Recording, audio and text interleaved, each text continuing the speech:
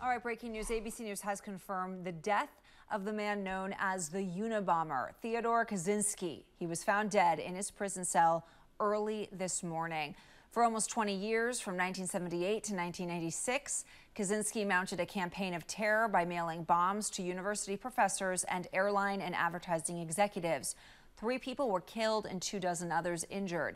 Kaczynski was arrested in 1996 and jailed in a maximum security facility in Colorado. He was moved to a medical facility in North Carolina in 2021 due to poor health.